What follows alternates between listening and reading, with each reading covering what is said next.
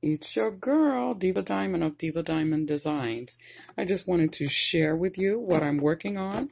My father will be 78 years old on the 29th, so I'm going to make a centerpiece out of these old gift boxes I got from the Dollar Tree.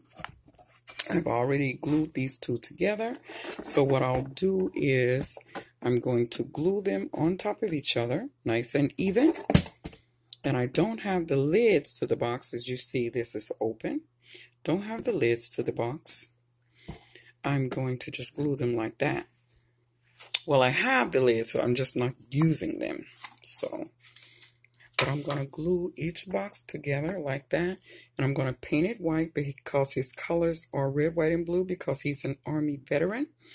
And I'm going to decorate it and I will share with you guys how I'm going to do that. But for now, this is what it looks like. And you can use this centerpiece uh, for a wedding, anniversary, birthday party, retirement, whatever you want. So I'm going to show you how to do a centerpiece. I'm not sure if I'm going to use flowers or balloons. I might use both, not sure. But I will share with you guys. Hope you're having a marvelous Monday. And I will see you in my next video. Bye, guys.